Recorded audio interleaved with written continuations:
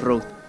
Yo no sabía que hoy tocaba off-road porque puse el mapa y, y me metió y dije, ay madre mía, que esto me ha metido por un lugar tan bonito. Es impresionante. Pero impresionante. He pasado por dos pueblos medio alemanes que son Gramado y Canela y estoy yendo ahora a Itambesiño y yo lo que no me esperaba era esta sorpresa del camino, que es que estoy disfrutando como un enano en la pista. El suelo está súper firme, no hay prácticamente nadie. ¡Buah!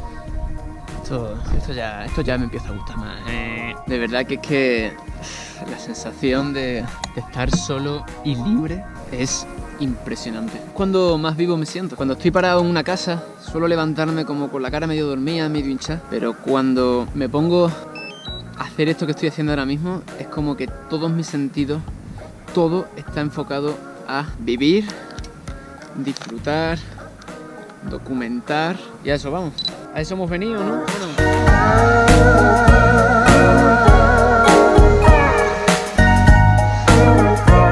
Hace un plano raso, raso, raso. Tus caballos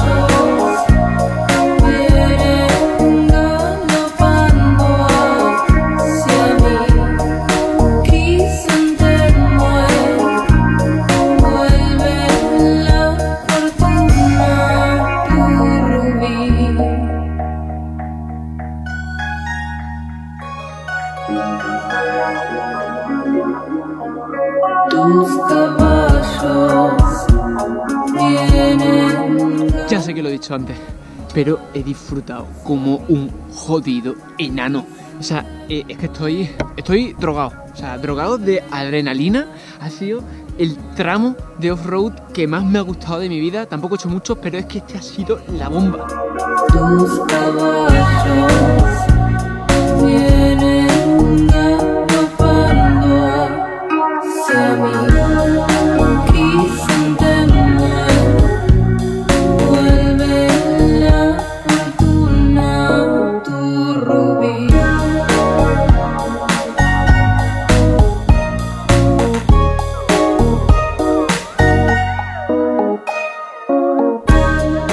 100, iba rápido, pero el- es que el suelo era muy bueno. Supernova se estaba portando diciendo Agustín, dale, dale, dale, dale, que hoy puedes darme caña, hoy te dejo que me des caña. Yo no sé dónde coño me he metido, pero ojalá continuar a 200 kilómetros más, ¿sabes lo que te quiero decir?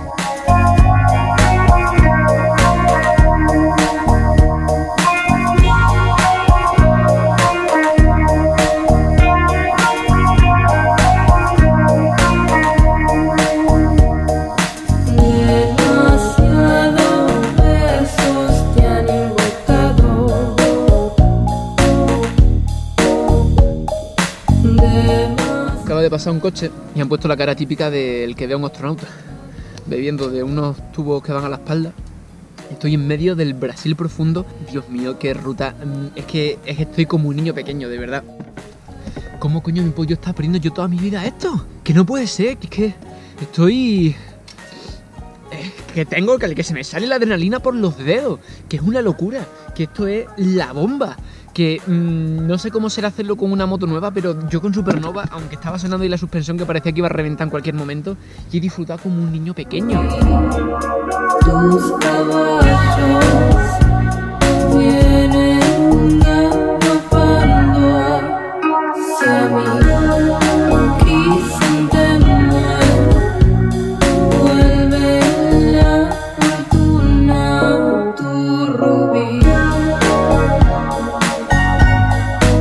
Equipaje que llevo y todo, que da igual, si es que el caso es hacerlo. Mira cómo se ha puesto esto, madre mía.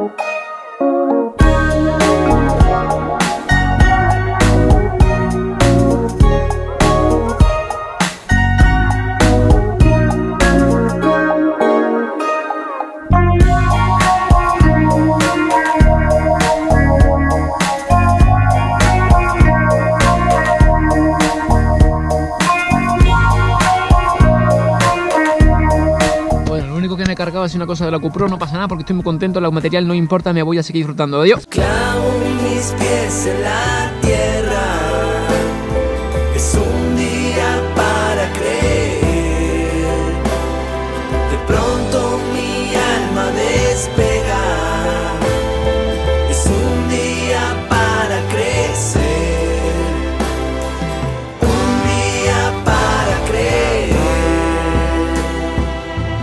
Dicho que este lugar era muy bonito, pero la verdad es que no se ve un carajo con tanta niebla.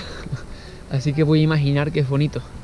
Lo que sí se ve es mi freno trasero quemado otra vez. Huele peste y ahora en una de las bajadas estas, que es que siempre me pasan los peorcitos sitios para que suceda.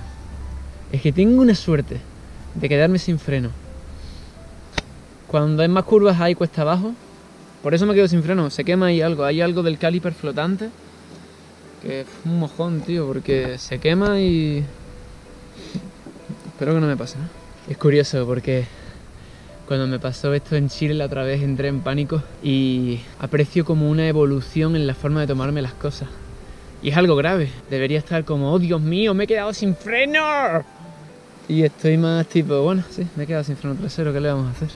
El mundo no es perfecto, ¿verdad? Bueno, ya lo recuperaré en algún momento. Ay, Supernova, qué disgusto me. No me das tregua, tío.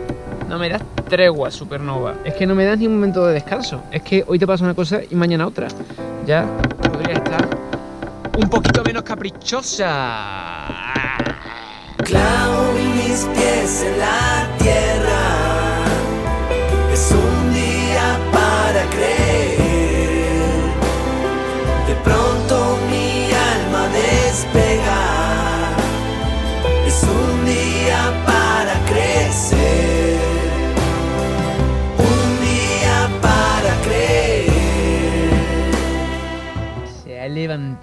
una bruma, una niebla, que parece que estamos en el apocalipsis. No ve un carajo, tío. Podría ser una película de terror.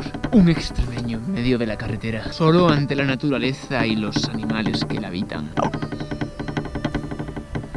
Ahora mismo, si viene un coche, para el del coche yo sería el niño de la curva. Pero tendría que poner una cara un poco más terrorífica, tipo... No sé si me levantarían haciendo dedo. Con esta cara bonita voy a continuar tras hacer este pipí. Hay almas que mueren de pena. Hay otras que viven no más. Siempre hay algunas que se echan a volar. ¿Qué cojones, tío? Se me ha caído de nuevo el segundo móvil. Menos mal que tengo una carcasa prueba de vida que iba a 130 y no se ha roto.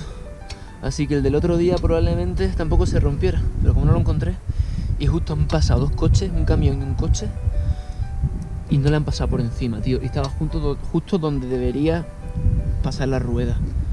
Hostia, chaval, pero qué mierda de cacharro es este, tío. ¿Cómo es tan malo? No lo compréis, no lo compréis. Clavo mis pies en la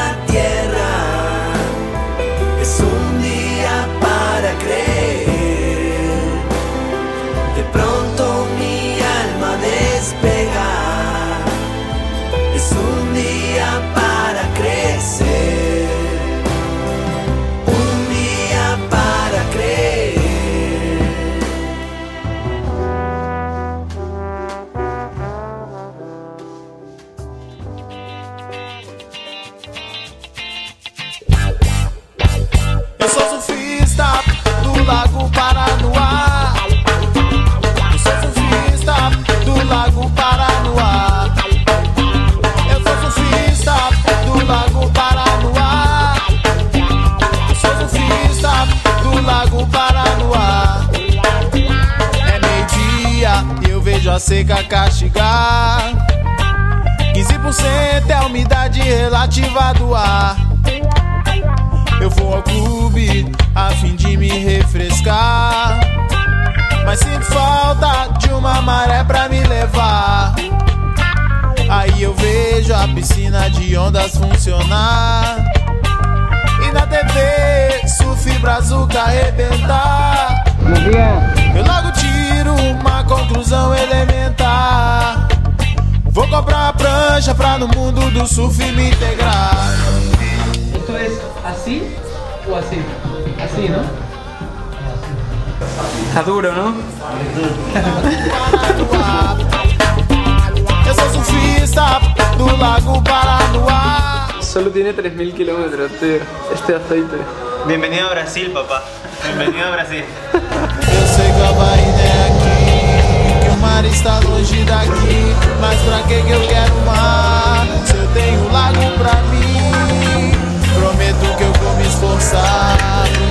El problema del freno era que la pastilla se estaba calentando mucho y botaba el calor en el, en el aceite de freno. Entonces por eso eh, tenía un olor a quemado y estaba perdiendo el frenado, ¿no? Ahora lo que vamos a hacer es colocar un aceite mejor para que aguante un poco la fricción del freno 5.1 no motor, aí vai ficar filé. Mas pisar no freio não esquenta mais. A. ¿Qué sucedía?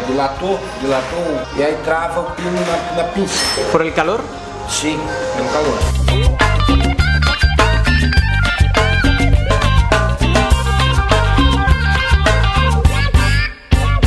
meio-dia. Conecta com um grande plantoplâncton, que acha um manto de proteção. Ele espírito de tomato esteja completamente presente, conectado, te alerta quando necessita alguma manutenção, ou pode ser completamente contigo. E a energia mágica do plantoplâncton protege mas se solta de uma ah, é maré pra me levar. Somos trio! Somos Cambro Blanco tá também. É meio-dia e eu vejo a seca castigar. 15% é a umidade relativa do ar.